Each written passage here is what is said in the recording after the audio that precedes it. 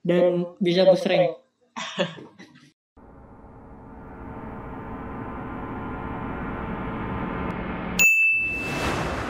Opini santri.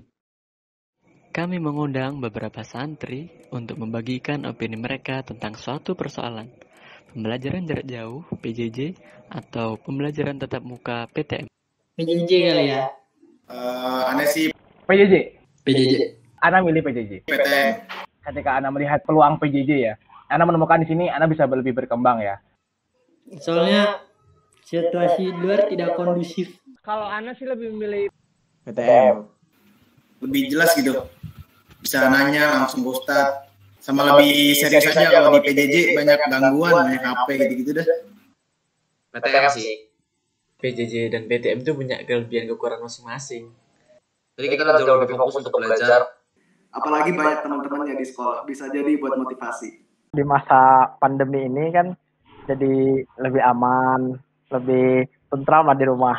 Kalau di Mahat kan terlalu banyak bercampur baur dengan santri dengan asatidah gitu. Ya, PJJ ini banyak kendala. terutama di samping kita ada setan gepeng. Kalau Ana pilih PTM ya. belajar lebih efektif tingkat konsentrasi dan kefokusan kita lebih tinggi pasti semangatnya dalam menuntut ilmu lebih tinggi dan lebih baik dan lebih ikhlas daripada PJJ Sebenarnya sih dari kedua opsi itu sama-sama ada enaknya ada enggaknya. Ya, kalau PJJ ini kayak kurang efektif aja.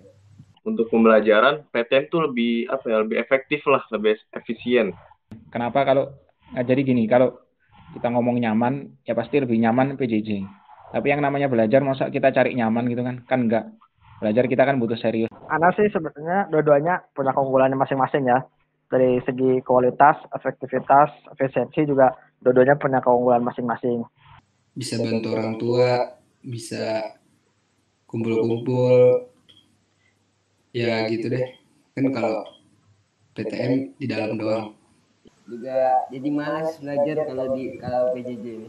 kalau PJJ kita belajar nih kadang ada apa aja gitu kayak kendala teknis di Google Meet atau di jaringan kan ada aja atau tiba-tiba kuota habis Tatap muka itu lebih masuk ilmunya. Kalau di sini saya gimana ngerasa juga pelajaran, tidur, proses belajar mengajar di PTM ini lebih efektif dan lingkungannya juga lebih mendukung. Selain itu, kalau di Mahat nih kita bisa mengasah kemampuan kita baik itu di bidang olahraga, akademik dan lain-lainnya. Sebenarnya PTM dan PJJ keduanya bagus untuk sistem pembelajaran al-irsyad. Tapi eh, untuk seorang santri PTM dianggap lebih penting karena ya namanya juga pondok pesantren. Nah, di sana kita berkumpul untuk sering menuntut ilmu. Sumber atau media pembelajaran PJJ dirasa kurang familiar untuk sebagian santri. Murojaah kita malas-malasan, belajar, hafalan ya juga berkurang otomatis. Mungkin ada santri yang tinggal di pelosok daerah, jaringan internet yang kurang bagus, maka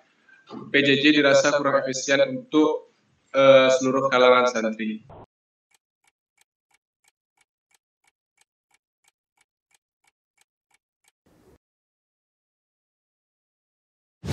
Ahlan TV